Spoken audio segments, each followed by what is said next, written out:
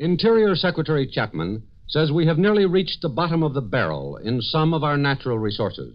He says we've dug deep into our mineral deposits, drained off much of our petroleum, depleted many of our forests. And he adds, we can never again afford to gorge and waste. The chief of the Navy's nuclear research program, Dr. Urner Liddel, said today that the so called flying saucers are nothing but plastic balloons used as in cosmic ray research. And William Webster, chairman of the Research and Development Board, says there is nothing to flying saucers. Mr. Webster also told reporters everybody knows there will be an atomic artillery shell someday. Did you see this item in the morning paper, Billy? What item was that, Ralph? You know what we were talking about. It says the Air Force announced today a powerful new flare for night photography and said the device has been responsible for some reports of flying saucers in the last two years. Well, maybe so, Ralph, but what about the reports of flying saucers from Europe and Korea, India, and Africa, and gee, all over the world? Well, they, that's true, but well, let's wait till Art comes over. He's uh, he's bringing a friend, you know, Art? who's quite a famous scientist. He has a telescope uh, near Mount Palomar. And with Oh. a special camera, he's actually photographed flying saucers in outer space. That's what Art says. You, you mean he's actually photographed those? What's his name? Uh, Professor Adamski, I think Art said. He could explain a lot of things about this. Well, I sure hope so. Yeah, I do too. You know, sometimes I wonder, will we ever learn to to live long enough to learn the whole truth about the flying saucers? Oh, hello there. Come in. This is the backyard. We're on CBS radio here every afternoon now. I'm Ralph Story. That's Billy Wardell at the keyboard. And we're expecting Art Wenzel with his accordion in a minute or two, and a special guest, too. Billy and Art will play for us, and we'll hear some songs by everybody's prettiest neighbor, Miss Roberta Lynn. So, hope you spend a few restful moments with us here. Have a lawn chair there, and you're always welcome in the backyard. Gee, there's been so much published and written and said about flying saucers. I'm awfully anxious. Oh, oh yeah. Hi, Art. You know, it's about time. Yeah, I tried to hurry.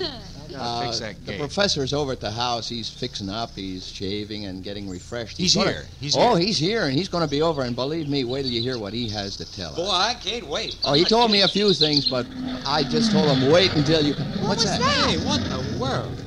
Which Oh, way that's did a it jet. go? It's a jet, honey. Uh, well, they go over so fast you can't tell which way they've gone. They start over there and they go beyond the horizon before you can name it. Oh, I'll see. Beyond the blue horizon waits. Ralph Story was born in Kalamazoo, Michigan on August 19, 1920. He served as a U.S. Army fighter pilot during World War II and started a career in broadcasting after the war. His big break came in 1948 when he was hired to host and direct an early morning show on KNX in Los Angeles. Story's casual style and witty observations about life in LA won him national recognition. He went on to do various shows before going into TV in the 1950s.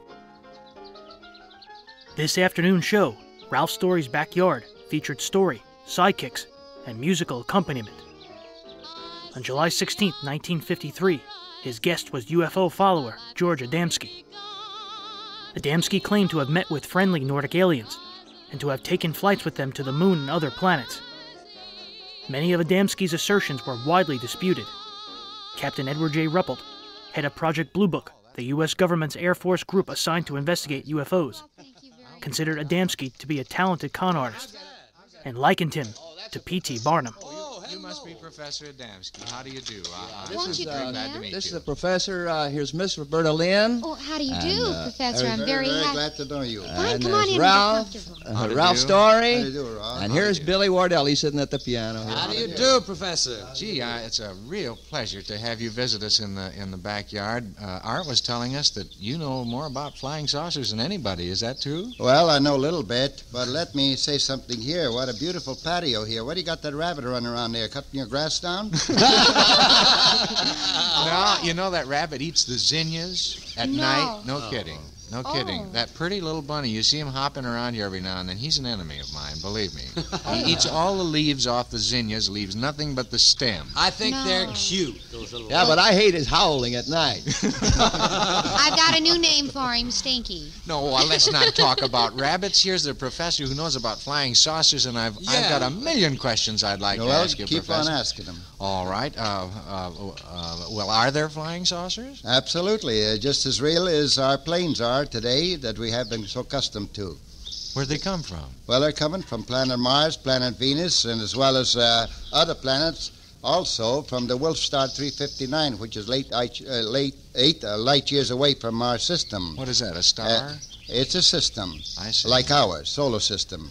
There's uh, uh, eight light years, uh, quite a distance because one light year is something like 60, uh, six billion miles. Yeah, I knew it's some distance. Yes, Uh, it is quite a distance, but they're coming from all those different places. Well, listen, Professor, if these things are really here now, how come we haven't ever seen them, you know, before this? Well, we have not been air minded as we are today. We have not uh, thought of anything else but birds flying through space, and sometimes even the birds have been noticed to come, uh, strange birds, noticed to come to into this world that no one seems to know where they come from, and it's possible they could be coming from other planets as well, like the flying saucers do. Have you ever seen a flying saucer? Oh, yes, I've seen many of them. I have photographed uh, quite a number of them.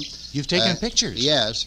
Uh, The electronic uh, system of the U.S. Navy asked me to cooperate with them one time. That was in 47. uh, See if I could get some pictures of the flying uh, objects, uh, which I did. You have the pictures. Yes, now. I have taken some pictures, and all my pictures at present are with the U.S. Air Force. Well, what do you know about that? Well, How did listen, they travel? Uh, Well, they travel uh, by magnetic uh, force, as it is known, which is nothing but the same kind of power that is customary known as uh, static electricity producing our lightning, as we have it every now and then, had it the last few days. oh, it's magnetic power that they're using then. That's huh? right, utilizing nature's own forces. How do they make the fast turn? That They do all- not make the turns, I don't believe, because as I have talked to one man, they do not bla- uh, make the turns. They just go forward and then sideways and Wait. backwards and every which way like that, but do not make turns. Wait, wait a minute. You said you had talked to a man. What man? Yeah. Well, on November the 20th, of which I'm writing a book now to be published in the next two months, um, uh, Noah is going to be titled as Flying Saucer Have Landed. At that time, this saucer did land at uh, the desert. It's 20 mi- about 10 miles from the desert center on the way to Arizona on that Parker Road. Oh, Parker, Uh, Arizona. Yeah. Yeah. Oh, It's yeah. uh, about 10 miles from Desert Center on that uh, road there. And the ship come down at the time, and I had the pleasure of uh, interviewing one person out of that ship, which was a, fro- a saucer come out of a mothership. You mean a man out of the flying saucer? That's right. You mean you actually talked to Yes, him? I did. We went out there with the hope of catching a good picture of uh, ships flying through there, as they have been reported. And uh, I did take uh, seven pictures at the time, and I didn't know whether they all turned out on good or not. When I started dismantling, well, this uh, ship finally disappeared, and then a man appeared, and I walked up to where the man was waving to me to come, and to find out after I got there, there was a spaceman, and he was a Venetian. You, you was a Venetian? That's correct. You Uh, mean, you very don't mean from. Venice? Uh, uh, no, not from Venice, uh, California, not at all. He was from Venus, Oh, planet Ralph. Venus. From the planet Venus. That's Venus, right. really? That's at least what he said. I finally got him to say it in this manner because he didn't know what the word Venus meant. So I pointed to uh, to the sun. It was one o'clock at noon, and I orbited and called the orbits by number or by name as well. And when I got come to the orbit number three, which is the Earth's orbit, I pointed to myself in the Earth. Then he got the idea and he pointed to the sun and uh, made one orbit and then the second orbit and then he stopped and he pointed to himself and to that orbit. That's Venus. And uh, that uh, meant Venus. Then, after I said uh, Venus four times, he stated, he also repeated the word Venus. so I knew that way they was from Venus. Weren't you frightened? Not at all. It seemed that the man had some kind of a power on him that uh, didn't give you any fright of any kind, didn't put you on guard against him or anything like that. What did he look like? Yes. He was a very good looking man, a a far better looking than most of us are today. Wow. And well, I don't know. he had Maybe I ought to beautiful, go to Venus. beautiful long hair, very Well, wavy, I and ladies would give any amount of money for that kind of hair. I And- suppose it's really not illogical that he should look better. He's some ways ahead of us, isn't he? That's right, a good many thousands of years, Oh, at least. Ralph. Really? So we'll give you his uh, age and uh, and uh, height and weight as we have judged him. Ah, he was about 28 years of age, five foot six, and around 135 pounds in weight. And uh, as far as time is concerned, as how far ahead of us he is concerned, he should be a long ways ahead of us because in Ezekiel, in the Bible, chapter 1, it tells you that flying saucers have been seen coming to this earth 2,546 years ago. You mean there's a reference to it in the Bible? That's correct. Oh, there's a hymn about them. Yes. I, wait, I got a hymn book here. Let me look and see if I can find the hymn. Yes. What hymn, Art? Ezekiel uh, saw the wheel, something like Oh, that. Wait a minute. Ezekiel Saw the wheel, Here, I got it. wheel within Here a it wheel. That's right.